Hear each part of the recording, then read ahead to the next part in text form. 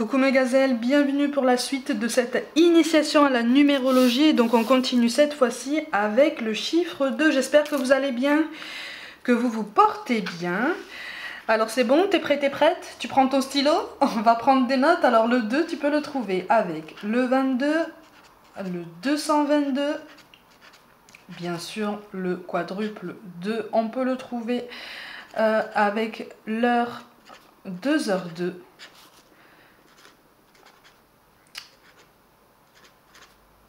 2h20, bien sûr 2h22, on peut le trouver avec 22h20 et bien sûr 22h22.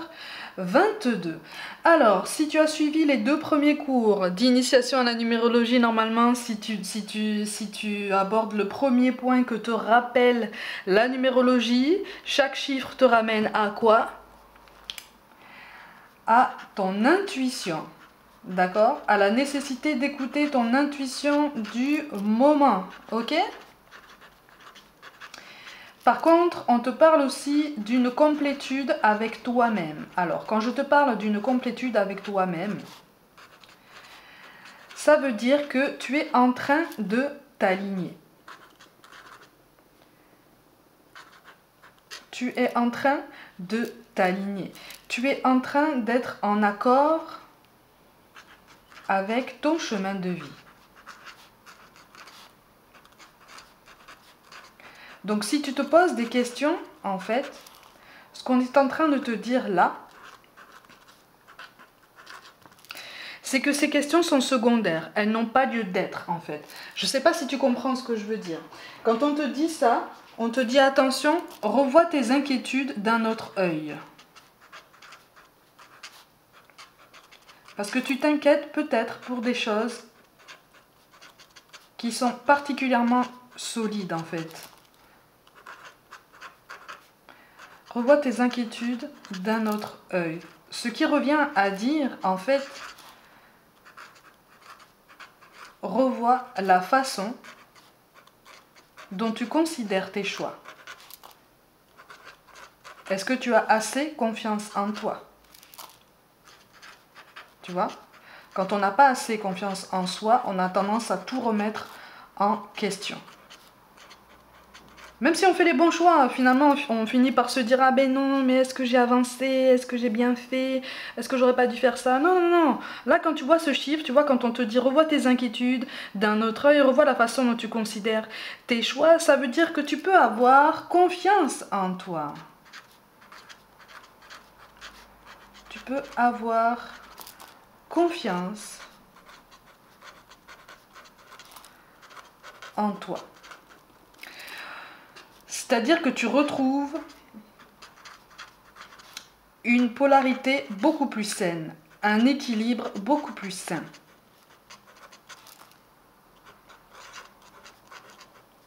Plus saine, hein, un équilibre. En général, en général, hein, quand on croise beaucoup beaucoup ce chiffre-là, ça veut dire qu'on vient, de, on vient de traverser une période particulièrement tumultueuse, particulièrement remuante, assez perturbante au niveau émotionnel peut-être. Et là, c'est une indication qu'on est, on est à la fin en fait de cette période. On n'est pas sur une fin de cycle, hein.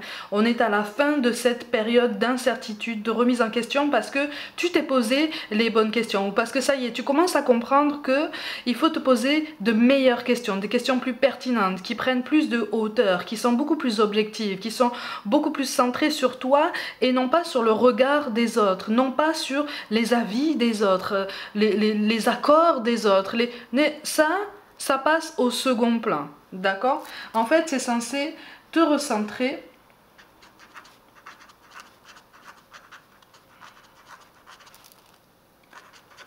sur ton incarnation, sur le propos de ton incarnation en fait. Vraiment. Ta profondeur, ton essence en fait. Tu vois? C'est pour ça qu'on est en train de te dire que tu es en train de te retrouver toi-même, que tu es sur une belle complétude, une belle progression à ce niveau. On te parle aussi euh, de félicitations C'est beau ça. Tu as les félicitations. Quand tu vois ce genre de chiffres, tu as les félicitations pour le courage qui habite ton cœur jusqu'à présent en fait. C'est celui, c'est ce fameux courage qui t'a aidé à traverser cette tempête. C'est ce fameux courage qui t'aide à être debout encore aujourd'hui. Et en fait, là-haut, c'est comme si on te disait bravo. Parce qu'en fait, tu n'as pas cédé à la peur. La peur, tu lui as fait face et puis tu as tout fait pour la surmonter et tu es en train de la surmonter. Donc, tu es en train de te renforcer. Hein. Donc, on a la notion de renforcement personnel qui va de pair, en fait, avec cette notion de confiance en soi. D'accord? C'est beau, hein c'est un bel encouragement. Au niveau relationnel, par contre, au niveau relationnel au sens large, on te parle d'une complicité à venir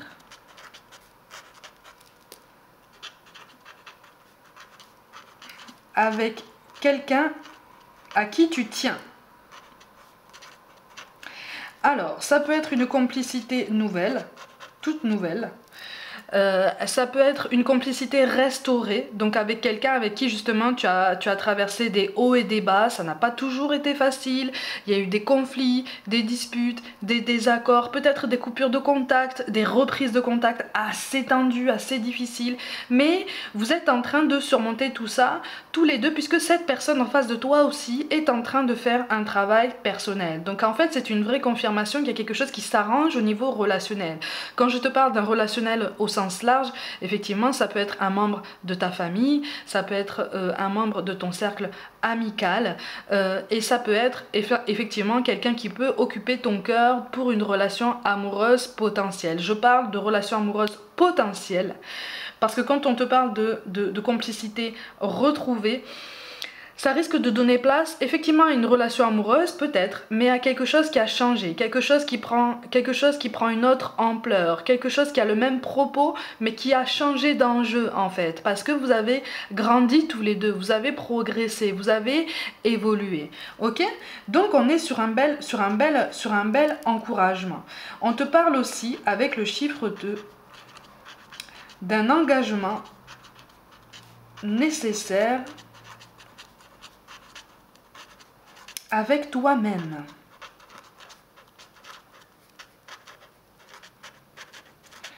En ce sens que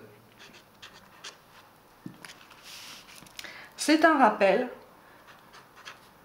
que tu es le seul créateur de ta vie. Donc en fait là on n'est pas sur une leçon de morale, hein. on est sur un vrai encouragement euh, qui, te fait dire que effectivement peut-être que tu te sens seul mais finalement tu ne l'es pas tant que ça puisque tu as tes guides, tu as tes anges, tu as tous ceux qui veillent sur toi euh, et tu, as peut-être aussi des gens qui regarde ta progression aussi de loin dans la matière, dans ton incarnation. Tu vois, peut-être que tu ne le vois pas parce qu'on ne te dit rien, parce qu'on refuse pour diverses raisons de t'apporter un soutien officiel, mais ne t'inquiète pas. Ne t'inquiète pas, à partir du moment, et ça mes gazelles, j'aimerais bien qu'on se l'imprime tous comme ça, et qu'on se l'affiche comme ça sur la porte, sur le front, qu'on se le tatoue, tu fais ce que tu veux avec, mais à partir du moment où tu portes des initiatives, garde bien ça en tête, à partir du moment où tu portes une innovation, dans ta vie dans ta vie personnelle, dans ta vie professionnelle, surtout dans le professionnel d'ailleurs, à partir du moment où tu fais preuve de courage, à partir du moment où tu prends des risques, des risques réels quand même, hein, mais que tu fais tout pour les surmonter, que tu fais tout pour y arriver, que tu essayes vraiment de mener ta barque et de te remettre en question et de, et de, proposer, de proposer des nouveautés et de, et, de, et de changer la donne et pour vraiment continuer à faire ce que tu aimes. Ne t'inquiète pas, ma gazelle, à partir du moment où tu fais ça, même si en apparence tu n'as absolument aucun soutien, tu inspires plus de personnes que tu ne penses. Donc rien qu'avec ça, ça devrait t'aider à redonner, à te redonner un petit peu confiance, d'accord euh, Avec le chiffre 2, il y a un message tout particulier il y a un message tout particulier en fait qui t'atteint et ça ne parlera pas forcément à tout le monde. C'est tout à fait normal. On te dit qu'un enfant attend d'obtenir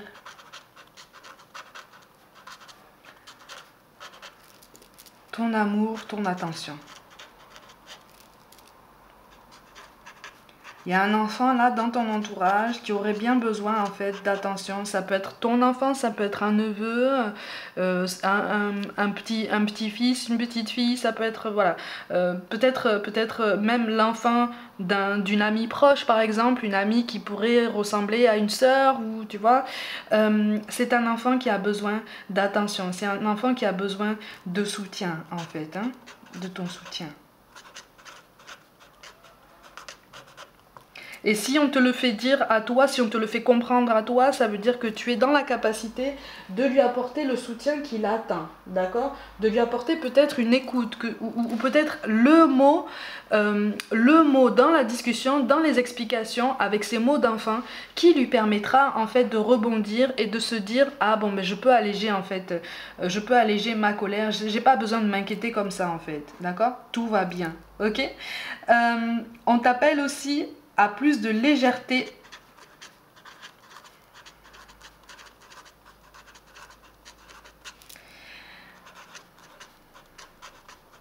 dans ta façon de te placer par rapport aux autres. Est-ce que tu te prendrais pas un petit peu au sérieux? Un petit peu trop?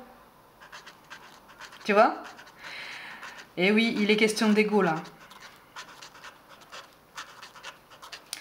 Il est question, il est question d'ego en fait. C'est cette notion d'ego, de mental en fait, qu'on nous encourage vraiment à réviser. C'est pour ça qu'on nous parle de revoir un petit peu nos inquiétudes euh, d'un autre œil, parce qu'il y a une notion d'ego, une notion aussi euh, de, de balance déséquilibrée en fait dans nos rapports. Je vais m'expliquer. En ce sens que tu peux aussi avoir tendance à ne pas comprendre que certaines personnes ne n'avancent pas aussi vite que tu le voudrais, notamment dans le domaine relationnel. On va se comprendre hein euh, quand, tu, quand tu es dans l'attente peut-être de la réaction de quelqu'un, d'une main tendue de quelqu'un, d'une déclaration de quelqu'un, ou peut-être d'une discussion, d'une simple discussion, hein, euh, mais que ça ne vient pas et que ça provoque en toi de la colère, de la frustration, euh, voilà, une impatience en fait. C'est parce qu'en fait, tu, tu, tu, te prends trop au sérieux. Tu prends la chose beaucoup trop au sérieux. En ce sens que euh, tu es un petit peu trop, là, là en fait, dans, ce point-là, on est en train de te dire que tu es peut-être un petit peu trop, et c'est pas un jugement, hein, mais tu es, tu es peut-être un petit peu trop auto-centré. On a tous ce réflexe, hein. on a tous ce réflexe. Hein. Quand quelque chose n'avance pas avec quelqu'un, on a tous tendance à se dire mais qu'est-ce qui se passe en fait? C'est qu'est-ce qui est compliqué à comprendre? Euh, Sujet, verbe, complément, qu'est-ce qui est compliqué à comprendre? Je ne m'explique pas de façon compliquée. Euh, il ou elle est capable de me comprendre, il ou elle est capable de me parler, de me dire ce qui ne va pas. Pourquoi il ou elle ne le fait pas Il ou elle ne le fait pas parce qu'il ou elle a ses raisons en fait. Et c'est ça qu'on nous rappelle. Avec le chiffre 2, c'est ça qu'on est en train de nous rappeler. Tu vois? Il y a, un relationnel qui te paraît comme ça déséquilibré, mais c'est temporaire, c'est déséquilibré parce que tu veux, tu veux que ça aille plus vite en fait que ce qu'il faudrait. Tu veux que cette personne aille à ton rythme et surtout dans ton sens. Mais qu'est-ce que Qu'est-ce qui compose la sensibilité de la personne en face de toi Tu vois? En fait, c'est un rappel que chacun avance avec sa sensibilité, chacun avance à son rythme et qu'il est tout à fait normal en fait de, de, rencontrer comme ça des désaccords, euh, des périodes de latence comme ça, euh, des périodes, des périodes où, où on est vraiment dans l'incompréhension, dans le brouillard complet avec quelqu'un, c'est tout à fait normal. Donc c'est en fait, c'est une ça nous rappelle cette notion en fait de lâcher prise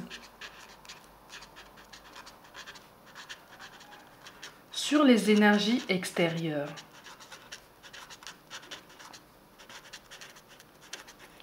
Sur les énergies extérieures. Et donc, ça te fait lâcher prise sur le regard des autres. Le regard des autres. Et surtout sur cette notion d'impatience et de frustration. Tu vois, dans le relationnel. Même aussi par rapport à toi-même. Tu vois, on t'appelle vraiment. En fait, c'est une, une un vrai rappel en fait à une notion de bienveillance envers soi-même. Tu vois? Ok?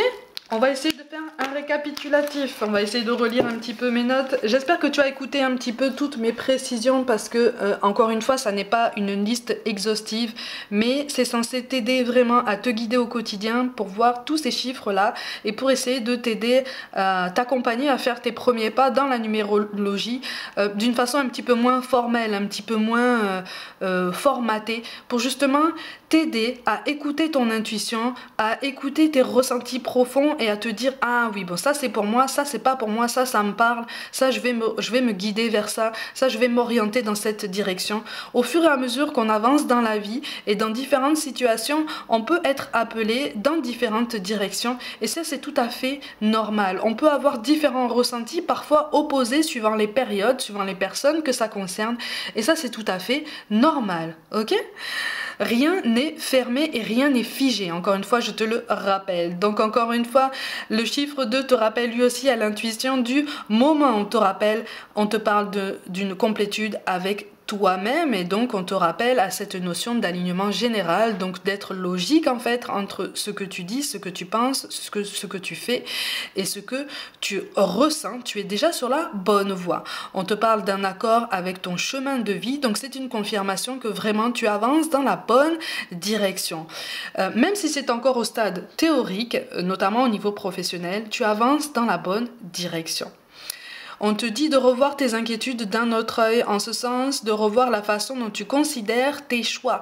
Peut-être que euh, tu es trop obnubilé par les aspects négatifs qui jalonne ta vie et que tu perds de vue en fait tous les aspects positifs qui t'entourent et qui t'aident à tenir au quotidien de façon inconsciente. Hein, c'est un rappel à l'essentiel aussi. Tu peux aussi avoir confiance en toi-même puisque c'est une bienveillance, une forme de bienveillance envers toi-même qu'on t'envoie en fait. C'est un conseil. Sois bienveillant, sois un peu plus bienveillant envers toi-même.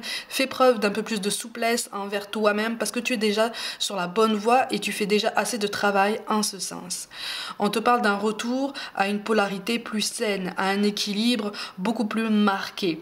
Tout ça, c'est tout à fait personnel. C'est une polarité et un équilibre personnel. Donc à toi-même, à toi propre en fait. Donc ton bonheur à toi, ta définition du bonheur, ton essence du bonheur. Ce qui te rend vraiment heureux. On pourrait parler aussi de cette notion d'enfant intérieur. Qu'est-ce qui réjouit l'enfant qui est encore en toi, l'enfant qui est toujours en nous en fait?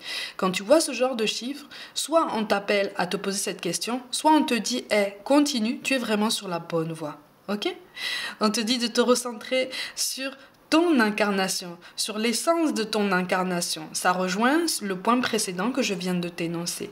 C'est aussi une félicitation pour le courage qui habite ton cœur jusqu'à présent parce que euh, on a cette notion de renforcement personnel suite à une, une, période agitée que tu viens de traverser et que tu es sur la fin de cette période. D'accord? Tu es sur la fin de cette période, donc on t'encourage vraiment à relever la tête et à, te dire allez c'est bon, encore un petit pas et c'est bon, je vais m'en sortir. Tu es déjà en train de t'en sortir de toute façon. Hein.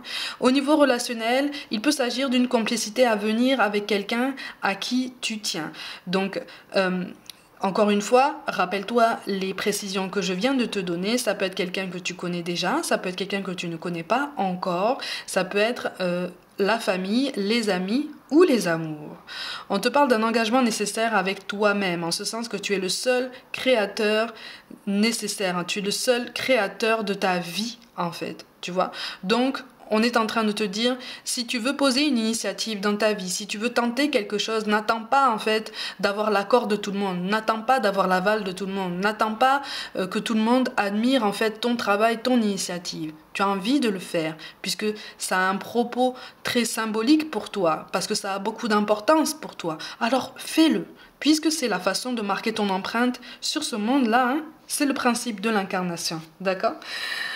Message tout à fait particulier. Un enfant attend d'obtenir ton amour, ton attention, ton soutien. Encore une fois, ça peut être un enfant sur ton cercle proche ou amical.